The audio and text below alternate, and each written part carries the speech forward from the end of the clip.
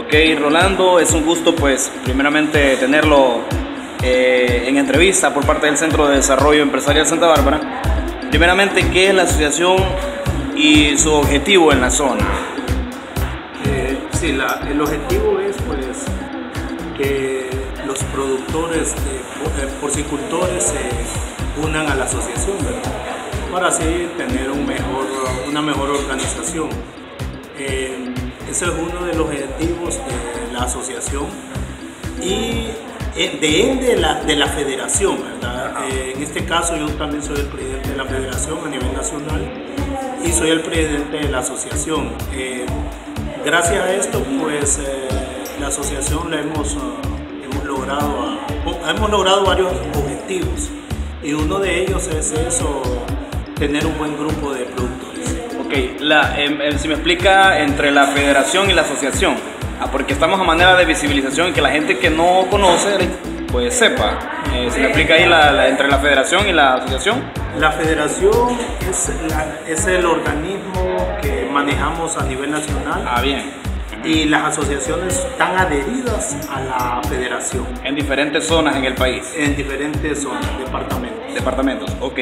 Entonces, eh, ¿cuántos miembros cuenta la asociación aquí en Santa Bárbara? ¿Miembros o asociados? No sé cómo. Asociados son 60, 60. y activos ahorita hay 30. 30. Sí. Esa es la cantidad que están aquí en Esa es Santa la Bárbara. cantidad que estamos. Ok. Y bueno, nos gustaría saber cuál es la, expectativa a largo o a mediano plazo como asociación. Eh, una de ellas es eh, eh, ver cómo cada productor, pues,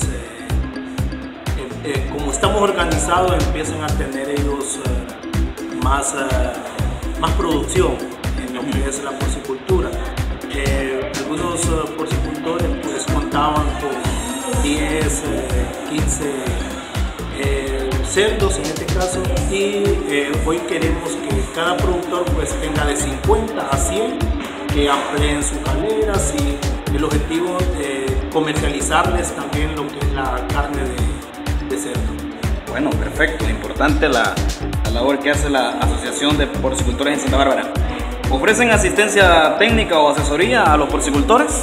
Sí, claro. eh, estamos ahorita con el sede, eh, pues ellos eh, eh, están también en la obligación de ayudarnos con, con la, con la tecnificación de lo que es la porcicultura.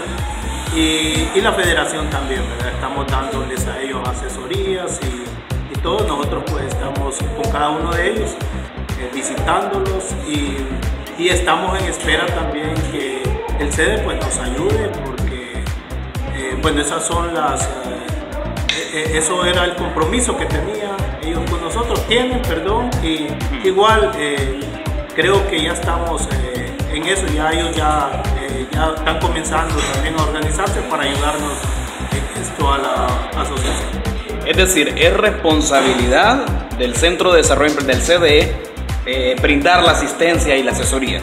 es responsabilidad, claro. Así es. responsabilidad, eh, Sí, sí. esos fueron los convenios que hicimos con ellos y eso es lo que esperamos.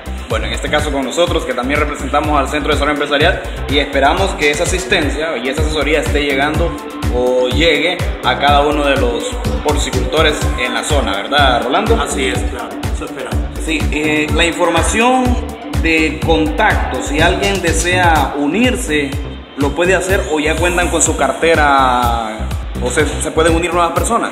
Sí, claro, mira, la, a la asociación pueden unirse. Ahora, eh, con el proyecto que está, pues ahorita, hasta ahorita está, habemos 30, estamos en, el proyecto, que tenemos créditos y estamos trabajando.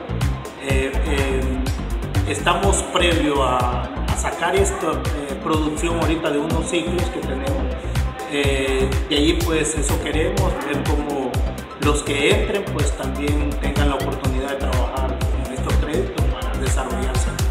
Así es. Muchas gracias a Rolando Enamorado, presidente de Apondesma, la Asociación de Porcicultores de Santa Bárbara. Seguimos a través del Centro de Desarrollo Empresarial Santa Bárbara. Hasta la próxima.